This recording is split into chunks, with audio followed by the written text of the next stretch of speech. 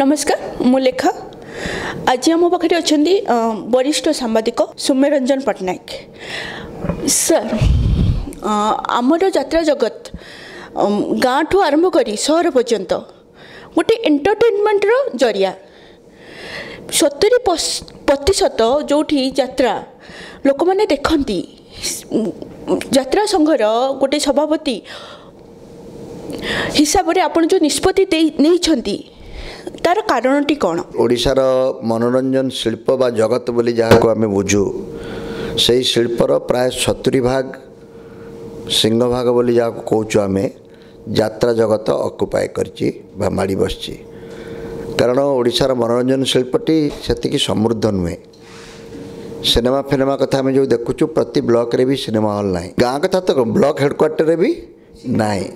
ଓଡ଼ିଶାର cinema hall ସଂଖ୍ୟା ଶହେ ପଚାଶରୁ ଶହେ କୋଡ଼ିଏ ହେବ। ସାରା ଓଡ଼ିଶାକୁ ମନୋରଞ୍ଜନ ଯୋଗାଉଛନ୍ତି ଏଇ ଯାତ୍ରା ପାର୍ଟିମାନେ। ଯେହେତୁ ସିନେମାଟି ଅଧ୍ୟ ସମୃଦ୍ଧ ନୁହେଁ ବିକଳ୍ପରେ ଯାତ୍ରା ପାର୍ଟି ମଧ୍ୟ ଓଡ଼ିଶାରେ ସମୃଦ୍ଧ ହେଇଛି ସବୁଠୁ ଉଲ୍ଲେଖନୀୟ କଥା ହେଲା ତୁମେ ଯଦି ଲକ୍ଷ୍ୟ କରିଥିବ ଭାରତର ଆଉ କେଉଁ ପ୍ରଦେଶରେ ଯାତ୍ରା ଏଭଳି ଗୋଟିଏ ବ୍ୟବସାୟିକ ଅନୁଷ୍ଠାନ ହିସାବରେ ଚାଲିନାହିଁ? କୌଣସି ଜାଗାରେ ନାହିଁ। ମହାରାଷ୍ଟ୍ରରେ ବି ଅଳ୍ପ କିଛି ଯାତ୍ରା ଅଛି। ଆସାମରେ କିଛି କିଛି ହେଉଛି। କିନ୍ତୁ ଯେଉଁ ଢଙ୍ଗରେ ବା ଯେଉଁ ଭାବରେ ଆମେ ଓଡ଼ିଶାରେ ଯାତ୍ରା ଜଗତକୁ ତିଆରି କରିଛୁ ସେଭଳି ଯାତ୍ରା ଜଗତ ଅନ୍ୟ କେଉଁ ପ୍ରଦେଶରେ ନାହିଁ। ଗତ ପାଞ୍ଚ ବର୍ଷ ଭିତରେ ଦେଖାଯାଉଛି ଏହା ଏକ ବ୍ୟବସାୟିକ ସଂସ୍ଥା ହିସାବରେ ତିଷ୍ଠି ରହିବା ପାଇଁ ଏକ ବିରାଟ ବଡ଼ ଆହ୍ୱାନର ସମ୍ମୁଖୀନ ହୋଇଛି। ଗତ ପାଞ୍ଚ ବର୍ଷ ଧରି ବହୁତ ଗୁଡ଼ିଏ କ୍ଷତି ହେଉଥିଲା କିନ୍ତୁ ବର୍ତ୍ତମାନ ଇଏ ସୀମା ପାର ହୋଇଗଲାଣି। ସେ କ୍ଷତିକୁ ଭରଣା କରିବା ପାଇଁ ମାଲିକମାନେ ବିଭିନ୍ନ ଉପାୟ କଲେ ସେ ଉପାୟ ଗୁଡ଼ିକ ଫଳ ଫଳିବା ପରିବର୍ତ୍ତେ ବିପରୀତ ଫଳ ଦେଇଛି। ବର୍ତ୍ତମାନ ଏଭଳି ଅବସ୍ଥା ଆସିଛି ଯେ ଯାତ୍ରାକୁ ଏକ ବ୍ୟବସାୟିକ ସଂସ୍ଥା ହିସାବରେ ଚଲେଇ ରଖିବା ସମ୍ଭବ ନୁହେଁ। ସାର୍ଙ୍କୁ ମୁଁ ଏଇଠି ଗୋଟେ କ୍ୱେଶ୍ଚିନ୍ କରିବି। ସାର୍ ଯେମିତି କହିଲେ ଯାତ୍ରା ଜଗତରେ ବହୁତ ଗୁଡ଼ିଏ କର୍ମଚାରୀ ଅଛନ୍ତି ଆଉ ସାର୍ଙ୍କର କ୍ଷତି ହେଉଛି। ତା ଫଳରେ ମାନେ କର୍ମଚାରୀ ଯାତ୍ରା ଯେତିକି କର୍ମଚାରୀ ଅଛନ୍ତି ଯେତିକି କଳାକାର ଅଛନ୍ତି ସେମାନେ ତାଙ୍କର ଜୀବନ କେମିତି ଯିବ ଜୀବନ ଜୀବିକା କେମିତି ଯିବ ଆଉ ତାଙ୍କର ଭବିଷ୍ୟତ କ'ଣ? ମୁଁ ସେଇଟା ପଚାରୁଛି। ନିଶ୍ଚିତ ଭାବରେ ତା ଗୋଟିଏ ବିରାଟ ବଡ଼ ପ୍ରଶ୍ନ ଆମେ ଯେଉଁ ନିଷ୍ପତ୍ତି ନେଇଛୁ ଯେଉଁ କର୍ମଚାରୀ ଭାଇମାନଙ୍କ ସହିତ ଆମେ ଏତେ ଦିନ କାମ କରୁଥିଲୁ କାଲିଠାରୁ ଯଦି କାଲି ଯାତ୍ରା ନ ହେବ ସେମାନେ ହୁଏତ ସେ କର୍ମସଂସ୍ଥାନ ପାଇପାରିବେ ନାହିଁ। ଇଏ ଗୋଟିଏ ସମସ୍ୟା କିନ୍ତୁ ଇଏ ଗୋଟେ ଅର୍ଥନୈତିକ ସମସ୍ୟା ଏକ ସାମାଜିକ ସମସ୍ୟା କିନ୍ତୁ ବ୍ୟବସାୟରେ ଶିଳ୍ପ ଜଗତରେ କାରଖାନା ହେବା ବନ୍ଦ ନ ହେବା ଶିଳ୍ପ କାରଖାନା ମାନେ ବନ୍ଦ ହେଇଯାଉଛି।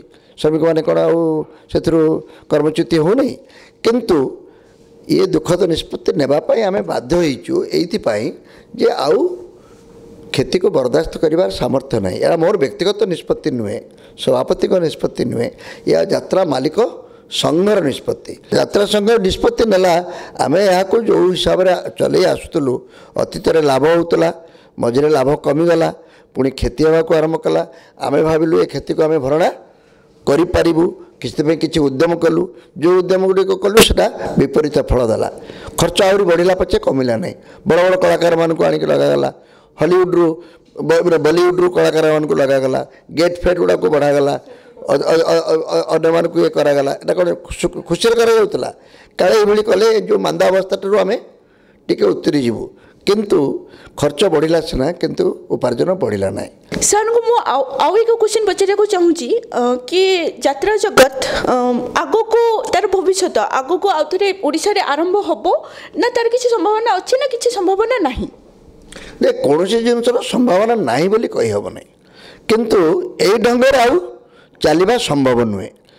ବର୍ତ୍ତମାନ କାହିଁକି ବନ୍ଦ କରାଗଲା? ବର୍ତ୍ତମାନ ବନ୍ଦ କରାଗଲା ଜାନୁଆରୀ ଫେବୃଆରୀ ମାସରେ ଆସନ୍ତା ବର୍ଷ ପାଇଁ ଯାତ୍ରା କଳାକାରମାନଙ୍କୁ ଆଡ଼ଭାନ୍ସ ଦିଆଯାଏ ଚୁକ୍ତି ବାନ୍ଧାଯାଏ ଆର ବର୍ଷ କିଏ କେଉଁ ପାର୍ଟିରେ ରହିବ ଆଡ଼ଭାନ୍ସ ବଡ଼ ରକମର ଆଡ଼ଭାନ୍ସ ଦିଆଯାଏ ବର୍ତ୍ତମାନ ମାଲିକମାନଙ୍କ ପାଖରେ ଦୁଇ ପଇସା ଖର୍ଚ୍ଚ କରିବାକୁ ନାହିଁ ଆଡ଼ଭାନ୍ସ ଦେବେ କେଉଁଠୁ ବ୍ୟାଙ୍କ କ'ଣ ଋଣ ଦେଉଛି ନା ବ୍ୟାଙ୍କ ଋଣ ଦେବାକୁ ପ୍ରସ୍ତୁତ ହେବ ଏ ଢଙ୍ଗରେ ଆଉ ଚାଲିପାରିବନି କିନ୍ତୁ ଯାତ୍ରା ସମ୍ପୂର୍ଣ୍ଣ ବନ୍ଦ ହେବ ବୋଲି ମୁଁ ବିଶ୍ୱାସ କରୁନାହିଁ କାରଣ କିଛି ସୌକିନ କଳାକାର ବାହାରିବେ ଯେଉଁମାନେ କରିବେ ରବୀନ୍ଦ୍ର ମଣ୍ଡପରେ କ'ଣ ଯାତ୍ରା ହେଉନି ପିଲାମାନେ ଯେଉଁ ଯାତ୍ରା କରୁଛନ୍ତି ସେ କ'ଣ ଯାତ୍ରା ହେଉନି କିନ୍ତୁ ଗାଁ ଗହଳିରେ ହବ କି ନାହିଁ ଏଇଭଳି ବ୍ୟବସାୟିକ ଢଙ୍ଗରେ ଏ ଢଙ୍ଗରେ ଯାତ୍ରା ହେବା ସମ୍ଭବ ନୁହେଁ।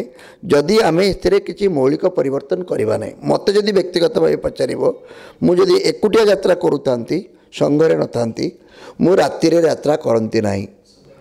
ମୁଁ ଯେମିତି ସିନେମା ହଲ୍ ହେଉଛି ସେମିତି କରନ୍ତି। ଯାତ୍ରାକୁ ଆମକୁ ବିଭିନ୍ନ କ୍ଷେତ୍ରରେ ଫିକ୍ସଡ୍ କରିଦେବାକୁ ପଡ଼ିବ। ଆମେ ଯେଉଁ ବୁଲି ବୁଲି ଯାତ୍ରା କରୁଛୁ ସେଥିରେ ଆମର ଖର୍ଚ୍ଚ ଟିକେ ବେଶୀ ହେଉଛି। ହୁଏତ ଆମକୁ କିଛି କିଛି ଜାଗାକୁ ବାଣ୍ଟି ନେବାକୁ ପଡ଼ିବ। ଯଦି ସନ୍ଧ୍ୟାବେଳେ ଯାତ୍ରା କରିବା ତାହେଲେ ଗୋଟେ ଗୋଟେ ୱାର୍କିଂ କ୍ଲାସ୍ ପପୁଲେସନ୍ ବୋଲି ଯେଉଁଟା ଆମେ କହୁଛୁ କର୍ମଜୀବୀମାନଙ୍କ ପାଇଁ ଇଏ ସୁବିଧା ହେବ। ଯଦି ସମସ୍ତେ ରାତି ଅନ୍ଧାର ରହିକି ଯାତ୍ରା ଦେଖିବେ ସକାଳୁ କାମ କରିବେ କିଏ? ମୁଁ ଶେଷରେ ଏତିକି କହିବାକୁ ଚାହେଁ ଗୋଟିଏ ସମାଜରେ କର୍ମଠ ସମାଜରେ ମନୋରଞ୍ଜନର ଆବଶ୍ୟକତା ରହିଛି ରହିବ। ବିନା ମନୋରଞ୍ଜନରେ ଗୋଟେ ଜାତି କେବେ କର୍ମଠ ହୋଇନପାରେ ଯେତିକି ପରିଶ୍ରମ କରିବ ସେ ଅନୁପାତରେ ମନୋରଞ୍ଜନ ପାଇଁ ମଧ୍ୟ ତାକୁ ସେତିକି ସୁବିଧା ସୁଯୋଗ ମିଳିବା ଦରକାର ଆମର ଦୁର୍ଭାଗ୍ୟବଶତଃ ମନୋରଞ୍ଜନ ପାଇଁ ଭିତ୍ତିଭୂମିଟି ଦୁର୍ବଳ ଯାତ୍ରା ଯେହେତୁ ମନୋରଞ୍ଜନର ଗୋଟିଏ ସିଂହଭାଗ ତୁଲାଉଥିଲା ସେ ବନ୍ଦ ହୋଇଯିବା ଫଳରେ ଏଥିରେ ଗୋଟେ ବିରାଟ ବଡ଼ ଆବଶ୍ୟକତା ରହିବ। ଅଭାବ ରହିବ। ଏଇଠି ଗୋଟେ ବିସ୍ମୟ ସୂଚକ ଆସୁଛି କି ଆଗକୁ ଆମ ଓଡ଼ିଶାରେ ଯାତ୍ରା ଜଗତ ଆମକୁ ଏଣ୍ଟରଟେନ୍ କରିବ କି ନାହିଁ ଅ, ସେଇଟା ଆମେ ଆଶା ରଖୁଛୁ କି ଆଗକୁ ଏ ନିଷ୍ପତ୍ତି ବଦଳି ଯାଉ। ଆଉ ସେ- ସାର୍ଙ୍କୁ ଧନ୍ୟବାଦ ଦେଇକି ଆମର ଏଇ ବାର୍ତ୍ତାଳାପ ଆମେ ଏ, ଶେଷ କରୁଛୁ